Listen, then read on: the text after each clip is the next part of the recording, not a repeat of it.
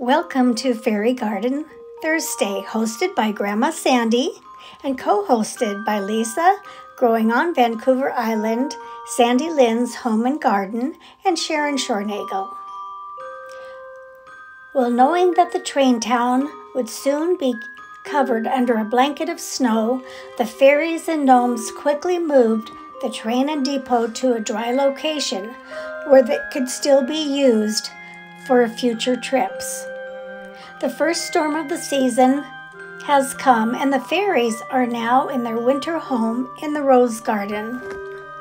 The first home is going to belong to the three Amazon fairies. And this cute little house with the roses is now Rose, the garden fairy. And she gave her house, the Rose Cottage, to the little fairies and the gnome's sister. They are also happy with their new homes. They've been working hard during the end of summer and early fall to get this area ready for them to come live for the winter. They got a new cobblestone sidewalk and some grass. And there's JJ peeking out the door, and here's Smokey. He's checking out the roof. Here are the three little dome sisters and the happy stump. He's always there.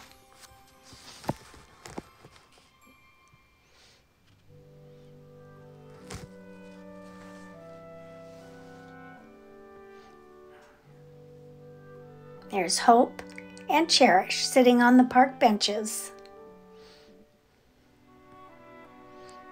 And Melody is playing her harp for the frogs and the duck. They have their little pond there and their boat.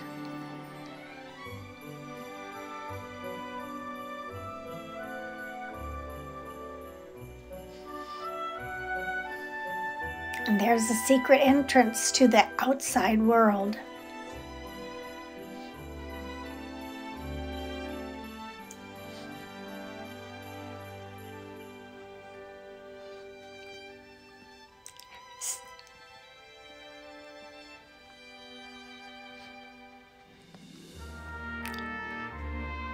Safe and warm, the fairies are enjoying their new winter home.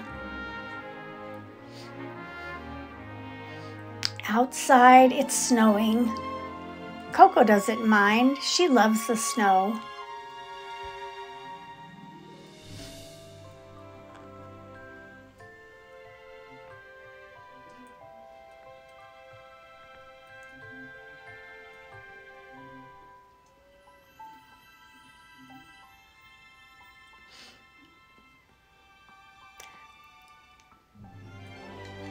I just want to say how much I appreciate you, and I hope that you have a wonderful day or evening wherever in the world you are.